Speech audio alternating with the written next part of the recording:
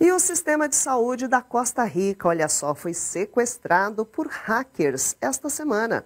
O prejuízo é enorme. A perda diária do governo é de 30 milhões de dólares. Vamos entender essa história.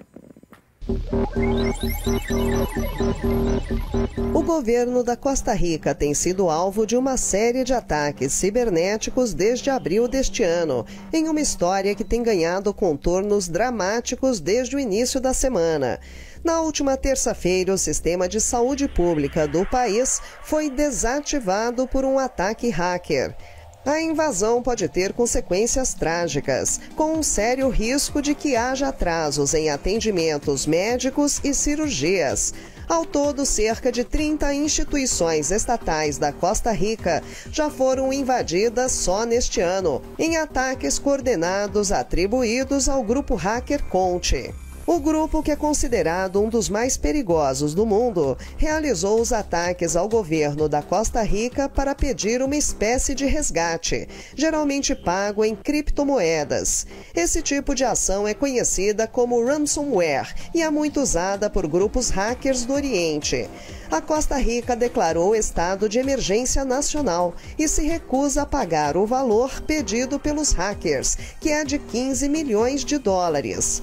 Porém, esta ação pode custar caro, já que os hackers que trabalham para o governo não estão conseguindo retomar o acesso aos sistemas governamentais. As informações de diversos sistemas públicos estão indisponíveis, o que afetou processos como cobrança de impostos, pagamento de salários de servidores públicos e a consulta a serviços. É estimado que a perda para a economia do país seja de 30 milhões de dólares por dia.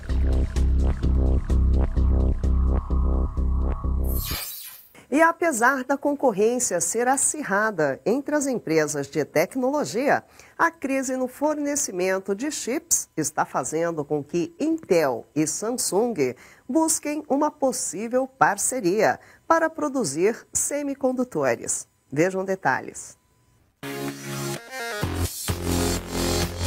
Samsung e Intel estão acenando para um possível acordo para diminuir a crise mundial dos chips. Esse mercado sofre com a falta de componentes desde o início da pandemia da Covid-19. A ideia de realizar uma cooperação na produção dos componentes foi discutida entre o CEO da Intel, Pat Gelsinger, e o vice-presidente da Samsung, Lee Jae-young.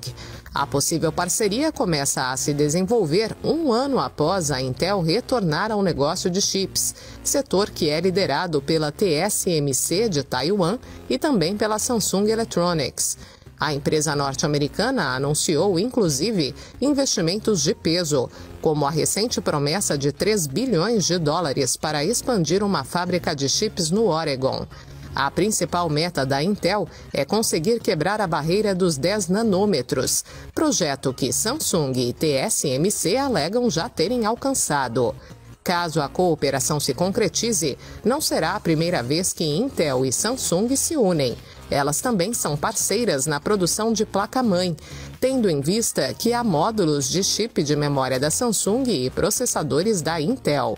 Essa compatibilidade é essencial para buscar um avanço nos padrões de chips de memória, visando DDR5 para PCs e servidores, além de LPDDR6 para smartphones.